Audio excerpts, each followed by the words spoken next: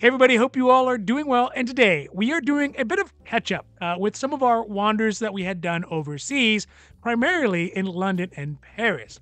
And the reality is, if you happen to find yourself in that corner of the world, there can be a great opportunity to find some really astounding bourbon unicorns that are basically just impossible to find here in the US. In this wonder, for example, we found the ultra rare Four Roses limited edition, a first edition bottle of Yuza, a new Japanese whiskey entrant into the Japanese market, as well as a bottle of one of my favorites, the most Blanton's of Blanton's, the Blanton's straight from the barrel, and really a whole bunch more. So today we are talking about our bourbon hunting in London and Paris, what the prices look like on that side of the pond, and what can actually be found.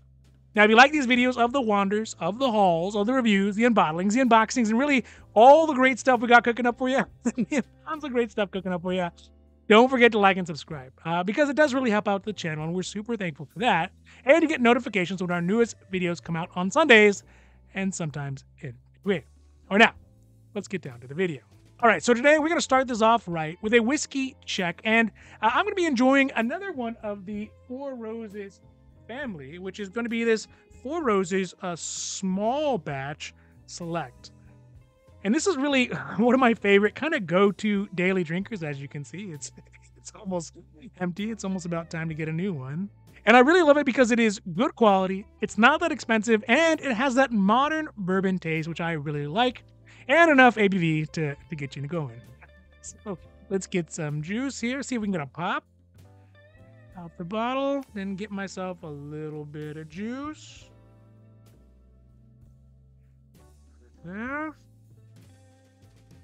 And a whiskey. Because let's face it, you can never really drink too much of it. You only just drink it too fast. Cheers. Oh, All right, so let's talk about the first whiskey that we're able to find. And so far, our whiskey experience hunting overseas has been say it's interesting. There are a lot of real advantages to stepping outside of the little range that is the United States, I guess the large range, that is the United States whiskey hunting.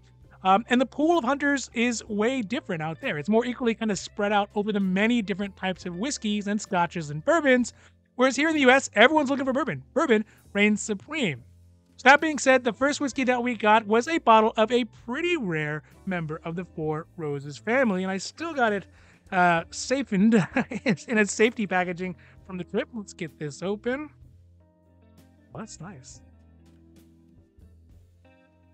Ooh, I like that. So, first bottle is the Four Roses Limited Edition 2022. Just look at that. Let's just take a moment to look at that. And in comparison to uh, the the other bottle, the more basic bottle, Still looks real nice. Now, like is all the rage with whiskeys nowadays, especially with the whiskeys that are more, I guess we can call them contemporary.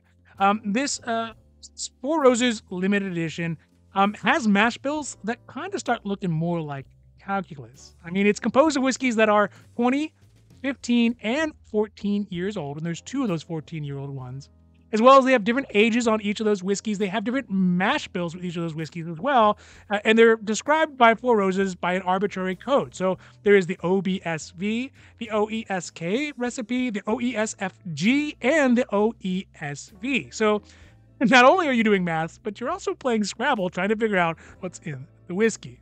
Either way, uh, whether the hieroglyphics mean anything or not to you, I can tell you one thing is that out of all the Four Rose collections, I have not yet had one that I have not liked. So it was a pretty easy decision to pick this one up. Now, while we were out and about in London, we did stumble across this one at the very top shelf, and frankly, I would have missed it if the wife didn't have a sharp eye for allocated whiskeys and good husbands.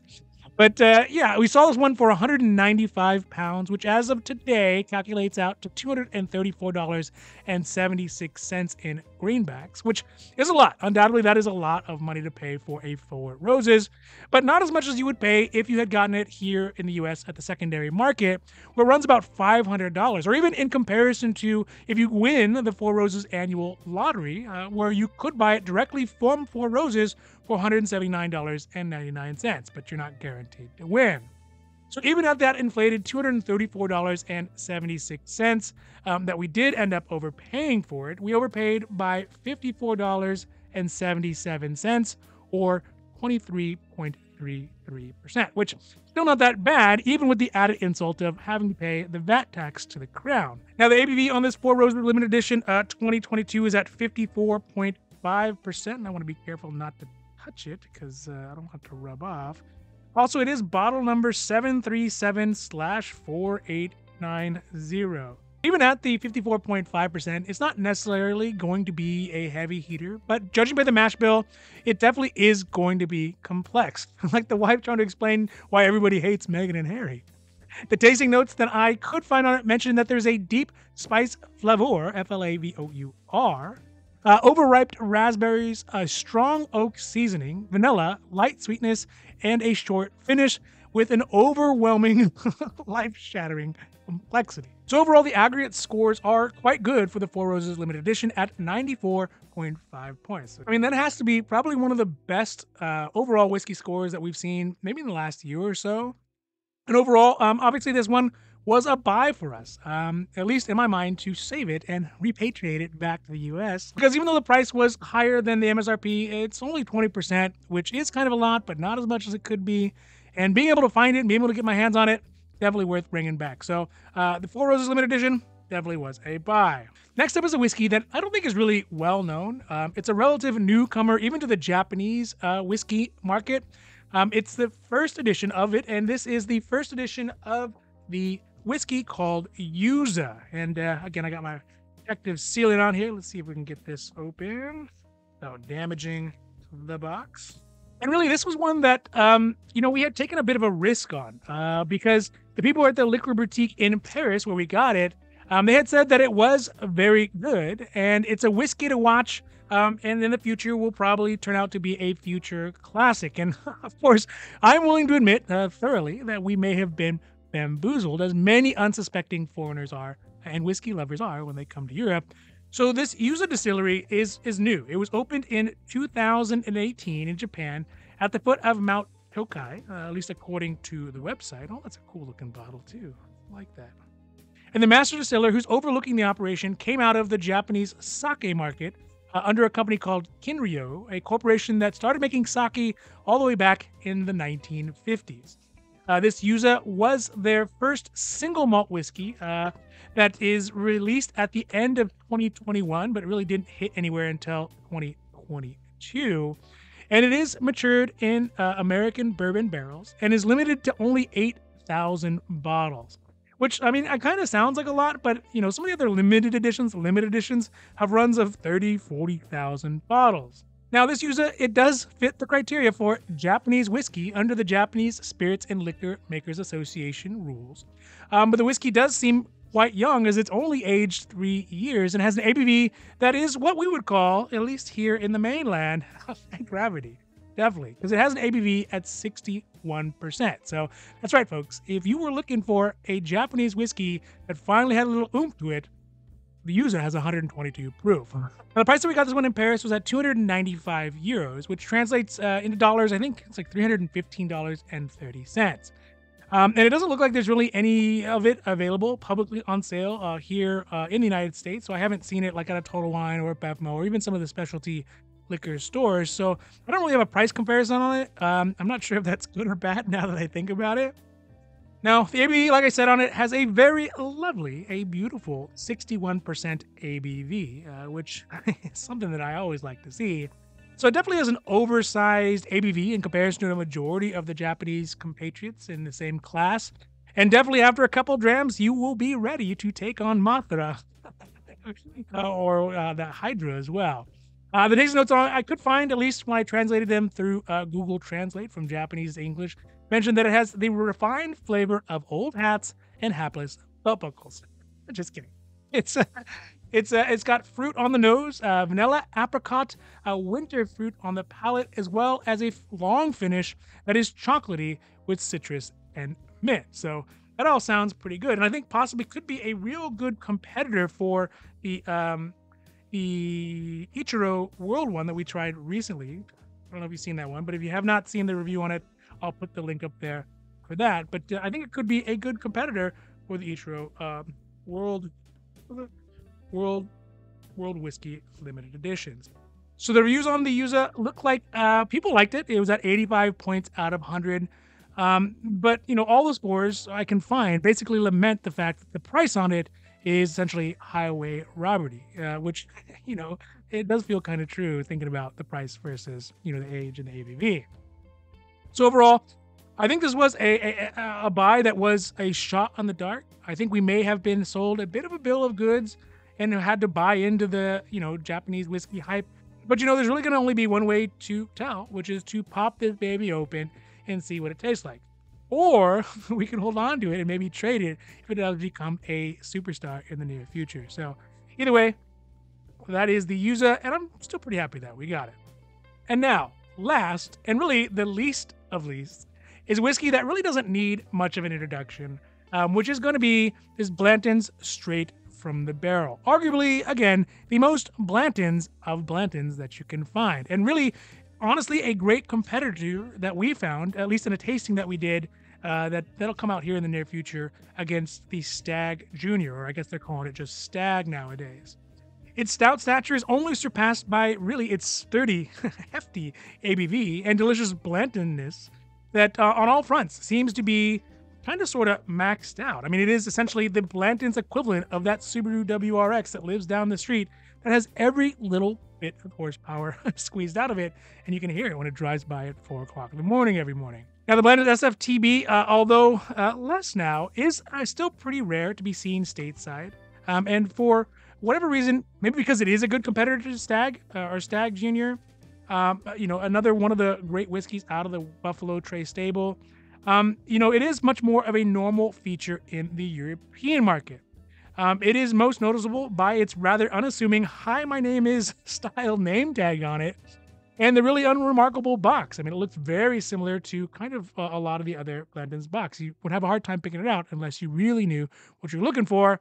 But of course, like anything, it is the juice inside that is a whole other matter and what really is important. Now, although there are many Blanton's out there, this one is mine. It was dumped on 625 2021. It is barrel number 106 from Warehouse H, Rick number 29 um, and has a proof of 132.4 proof.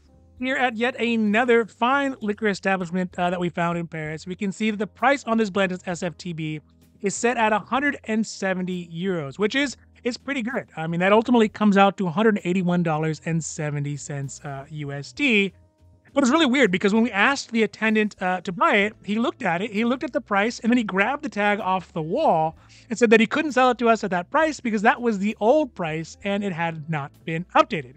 So of course we're like, okay, well we'll pay the new price. But he said he didn't know what the new price was and that he couldn't sell it at all, which seems very suspicious. But then again, after some spirited conversation, a couple checks with the manager, and perhaps the realization that Paris had made it through the 20th century, astoundingly still speaking French, in no small part to help from folks like Uncle Sam, uh, he finally relented and let us buy it at the posted price. So, pro tip if you are out and about somewhere in the world and you see a good price, take a picture because otherwise you may not get it for that price if they take it down and they say no. Either way, this price uh, is still pretty good, especially in comparison to what you can find it here stateside, if you can find it secondhand.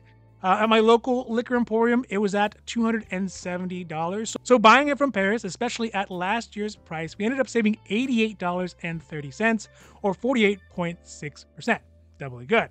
Uh, also, there was no sales tax on it uh, because in mainland Europe, the VAT is refundable to Americans. You're welcome. Now, the ABV on the SFTB is the most noticeable characteristic about it. The ABV on this one specifically uh, is, like I said, at 66.2%, which is uh, quite nice, especially over the standard Blanton's, which is probably at like 46% ish. It changes a little bit um, that you get with, you know, the normal single barrel.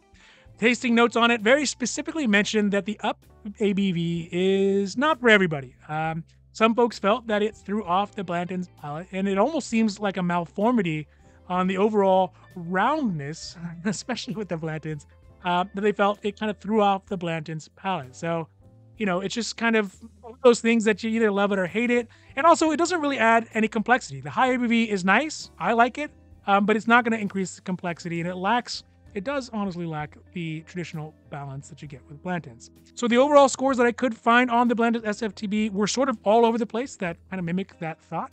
Um, some were in the low 90s, other were in the mid to low 80s, uh, which really means that uh, it's kind of one of those love it or hate it types of whiskeys. But my two cents is that the muscle up flavors makes it really nice for a sometimes enjoyment. Um, and it did get a score out of 88 out of 100. Uh, and it really is, uh, I mean, it's going to be kind of the difference between like a normal Dodge Charger and a Dodge Hellcat. Sure, it is super cool to have the Hellcat, do you really want to drive it to work every single day? But for me, as always, especially at last year's price, it was definitely worth a buy and to rescue it and bring it back to the good old US of A. All right, so that's our whiskey wanders from the beautiful cities of London and Paris. And really, I hope you enjoyed this video. And if you did, if you like the wanders, if you like the hauls, the reviews, the unbottlings, the unboxings, and all the crazy stuff we got cooking up for you, and we got some amazing stuff getting cooked up for you. Don't forget to like and subscribe because it does really help our channel to grow. I like to think it's good for your whiskey mojo, and you get notifications when our newest videos come out on Sundays, sometimes in between. So, with that, just remember if you do find a whiskey that you love, really wherever you are in the world, just buy it. Because if you don't, somebody else surely will. And in this case, it might even be me. All right, everybody, I'm out. Have a great rest of your week and adios.